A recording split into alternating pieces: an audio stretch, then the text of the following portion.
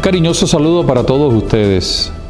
Creo que es importante que nosotros sigamos eh, realizando en oración, en reflexión y en compromiso todo aquello que nos permita aportar a la solución a la crisis que vive Venezuela. En nuestra diócesis hemos optado por una serie de actividades que ha conllevado las 40 horas del Corpus Christi, la eh, lucenario de la Vía Luchis y también unas asambleas eh, parroquiales. Yo quiero invitarles a todos ustedes que se unan en sus diversas comunidades parroquiales a estas asambleas.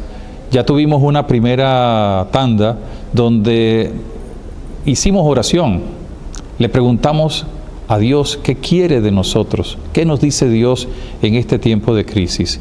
Y ahora en los próximos días vamos a tener una segunda tanda de asambleas en las diversas parroquias, también instancias eclesiales, e incluso en familia, ¿no? No, no está prohibido hacerlo en pequeños grupos tampoco, para reflexionar acerca del mensaje del Papa, de los obispos y de la Iglesia en torno a esta situación que vive el país.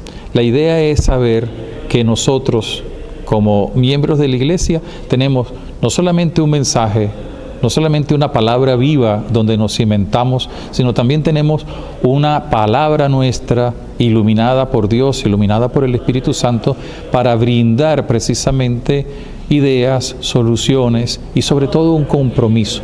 Nosotros somos la buena noticia, la buena noticia de salvación en nuestro país y por tanto, como nos lo dice el Papa eh, Francisco, nosotros somos parte del sujeto social que debe atender, responder la crisis. Y los políticos, sean del gobierno, sean de la oposición, deben tener en cuenta y tener un oído en el pueblo, como bien lo señala el Papa Francisco.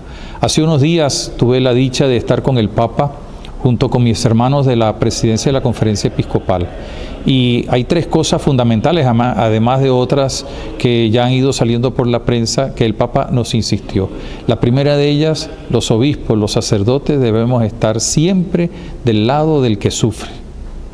¿Por qué? Por nuestra pertenencia como ministros a la, al pueblo. En segundo lugar, que no olvidemos que las soluciones tienen que hacerse siempre por la paz haya protesta, haya manifestaciones, siempre tenemos que optar por la paz.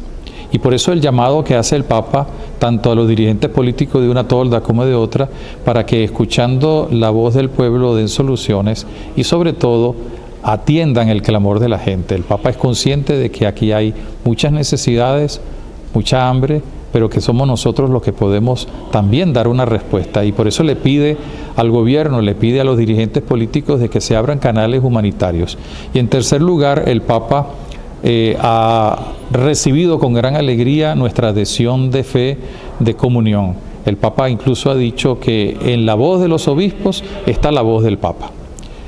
Yo quiero invitarles a todos ustedes a que, inspirados en el Espíritu Santo, con la fuerza del Evangelio de Jesucristo y sabiéndonos hijos de Dios Padre, seamos nosotros protagonistas en este momento. Nada de violencia, cualquier tipo de violencia, sea de represión, sea de ataque, sea verbal, sea lo que sea, cualquier tipo de violencia, en vez de resolver lo que hace es profundizar el caos.